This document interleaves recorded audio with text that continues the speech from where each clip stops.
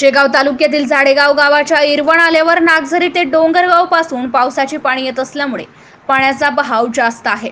रस्ता बांधण्याच्या वेळी ज्या ठिकाणी पूल हवा होता त्या ठिकाणी ठेकेदाराने पूल न बांधता गोल पाईपच्या सहाय्याने पाणी काढल्यामुळे दरवर्षी या पाईपच्या नालीतून पावसाचे पाणी दाटून नाल्याचे पाणी रस्त्यावरून वाहते. त्यामुळे हजारो एकर शेत जमीन दरवर्षी पाण्याखाली जाते. या रस्त्याने झाडेगाव माणेगाव पाडोदी आडसूळ पाडसूळ या खेड्यांचे विद्यार्थी शेगाव येथे शिक्षणासाठी जातात. परंतु पावसाळ्याच्या दिवसात नाल्यावरून पाणी वाहत असल्याने विद्यार्थ्यांसह नागरिकांना आपला जीव मुठीत घेऊन प्रवास करावा लागतो.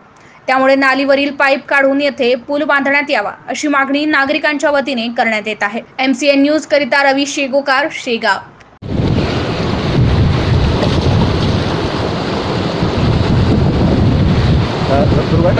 नमस्कार मी दिनेश रामदास माडी मनसे तालुका अध्यक्ष. मी झाडेगाव रहिवासी असून आमच्या गावात शेगाव झाडेगावपासून दहा किलोमीटर अंतर असून या इथं एक पूल आहे आणि पाऊस कालपासून भरपूर झाल्यामुळे या पुलाची अवस्था अशी झालेली आहे की सर्व काट्या अटकलेल्या आहेत आणि हा पूल जाम झाल्यामुळे हे पाणी वधून वाहू राहिलं आणि हजारो एकर जमीन पाणी खाली आहे. प्रशासनाला आमची एवढी विनंती आहे की इथं मोठा पूल व्हावा आणि या लोकांचं जायची व्यवस्था करून देण्यात यावी. आणि इथं ले शाळेचे लेकरं पण जातात. दवाखान्यावाले जातात. सर्व जातात. चार पाच गावाचा अटीच रस्ता आहे हा. झाडेगाव मानेगाव अडसू पारसू. आणि याची खूप दुर दुरवस्था झालेली आहे.